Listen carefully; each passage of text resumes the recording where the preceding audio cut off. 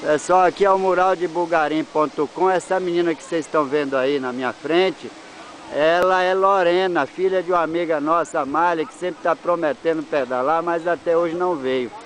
E Lorena a gente encontrou ali na é, New Old Bike e de repente ela resolveu acompanhar a gente e é a primeira vez que ela anda na rua de bicicleta.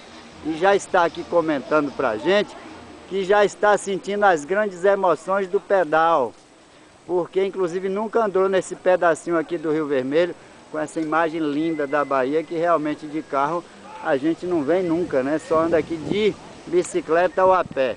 Então Lorena depois vai falar sobre o batizado dela no Jabutis Vagarosos, que é esse grupo nosso pequeno, às vezes duas, três pessoas, às vezes cinco, e sai andando pela rua. Quem quiser vai com a gente, é só acompanhar. muraldebulgarim.com, bikebook.com.br